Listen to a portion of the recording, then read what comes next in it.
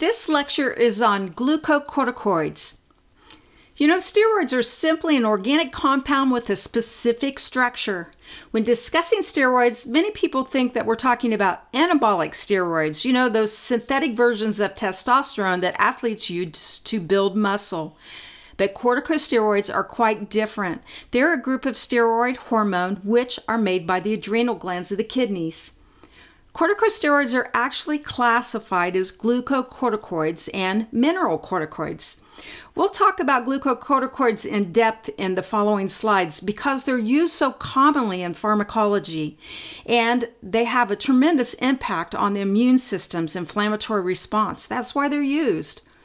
Mineralocorticoids, which include aldosterone, this steroid regulates the balance of water and salt in the body.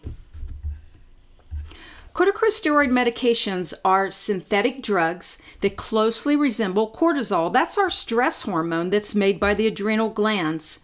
Corticosteroid drugs are very powerful and they're used to prevent or limit inflammation by suppressing the immune system. As you can see, they're used by every route and they're used for everything from brain tumors to skin conditions. We'll see these drugs throughout the study of pharmacology, and they're used PO and IM, IV. They're used for arthritis or colitis. They may be used to prevent organ rejection in individuals that have organ transplants. They may be used topically for skin conditions or otic or ophthalmic for eye or ear inflammation. Some nasal sprays may contain cortisone to decrease the swelling in the nasal passages and make it easier to breathe. Corticosteroids may be given by inhalation for inflammation um, that's happening in the airway.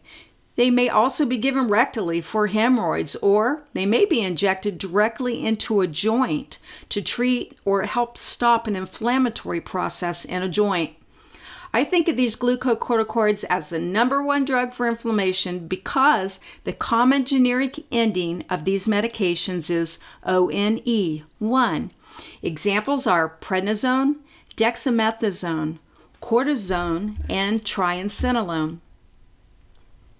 I would like to paint you a picture of the effects cortisol has on the body so that you can understand and remember the side effects and adverse effects of corticosteroid drugs. First off, know that cortisol is our stress hormone. It's released by the adrenals in time of stress. So think about the side effects in terms of fight or flight. The body is not concerned with maintaining optimal function, it's about survival. So, processes that are not critical for survival, these processes are shut down. Cortisol prevents the release of substances in the body that cause inflammation. When you're under stress, the body's not seen supporting the immune system as a priority when it's in survival mode. So when the immune system is suppressed, though, inflammation is decreased. That's the reason these drugs are prescribed is to decrease or prevent inflammation. Now, under stress, cortisol increases blood sugar as a survival method so we can escape the threat.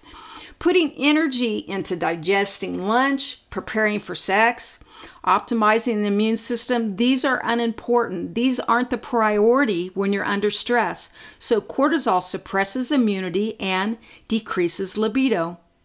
Serotonin is one of our feel good neurotransmitters. This level is decreased by high cortisol levels. Cortisol also helps with bone density. When cortisol is increased, calcium absorption is decreased.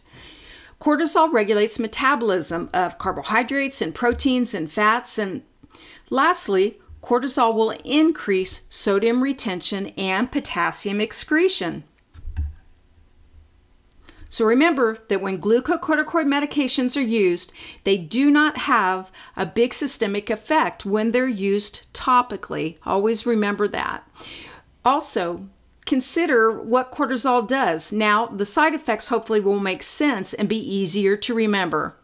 I use the letter S to think about the side effects and adverse effects of corticosteroids. I think of sugar, salt, sex, sadness, sick, stop, and shrink bone. Prednisone is probably one of the most frequently used oral corticosteroids. So, hyperglycemia, Remember, cortisol controls blood sugar. So remember sugar, hyperglycemia. With retention of salt, patients may have edema. They can also have weight gain and appetite increased and hypertension. Libido is decreased because of these sex hormones. Serotonin is another S, so think of sadness. Depression may be seen in patients that take these drugs. Because cortisol revs the body, some may have even have anxiety or nervousness or insomnia as the brain kind of gets revved up. The next S is for sick. Because cortisol suppresses our immunity, patients on glucocorticoids can get sick easier. You know, that's also why people who are always stressed, and they've got high levels of cortisol, while they're frequently sick. The cortisol also, when it's kicked in, the immune system is suppressed, you may see poor wound healing. That wound healing is going to be prolonged. Inflammation begins wound healing. So, if we suppress it again, we may um, mess up the body's ability to heal wounds, okay? Um, let me see what else. Um, these have to be stopped gradually because what happens is when we give the body artificial cortisol, it quits making cortisol, and actually the adrenals they can even kind of shrink. So if they're on patients are on these medications for any prolonged period of time, they want to gradually stop these. And the docs will probably order um, a gradual dose. They'll have them take, you know, five for five days, and then take four, and then take three. So that's how it'll be ordered. The last S is for those spongy bones. Remember again, because of cortisol's role in bone health and calcium, patients who take corticosteroids long term may have a higher risk of osteoporosis. Many individuals on long term steroids are recommended to take vitamin D and calcium.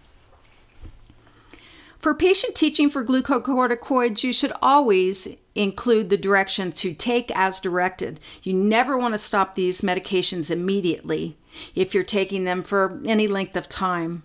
Again, watch for the side effects and the adverse effects that we just discussed. You want to monitor the patient's white blood count and look for signs of infection. Again, the patient may have poor wound healing and be more susceptible to getting sick.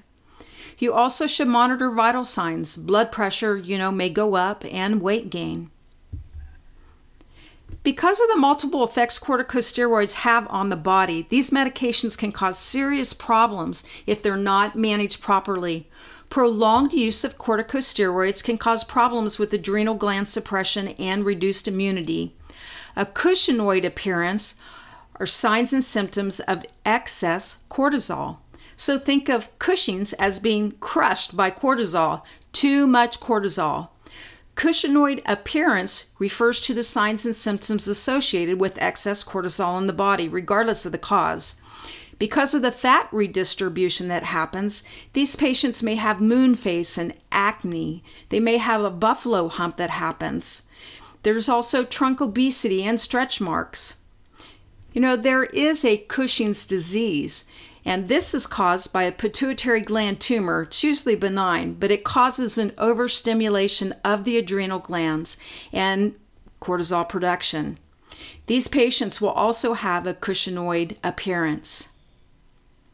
Remember, cortisol is needed to maintain life. When individuals take corticosteroids, the body senses higher than normal amounts of cortisol, and the adrenal glands atrophy and stop making cortisol. So, corticosteroid medication cannot be stopped suddenly, or acute adrenal insufficiency can happen. When oral corticosteroids are prescribed, the patient is usually directed to gradually, again, gradually decrease the dose. Addison's disease, now this is a rare condition where your adrenal glands produce too little cortisol and often too little aldosterone. People with Addison's disease can lead normal lives as long as they take their medication to replace these important hormones. Think of Addison's as they need to add some cortisol. Well, that concludes the review of corticosteroids. I hope that makes it clearer and easier for you to understand and know those side effects. Let me know if you have any questions.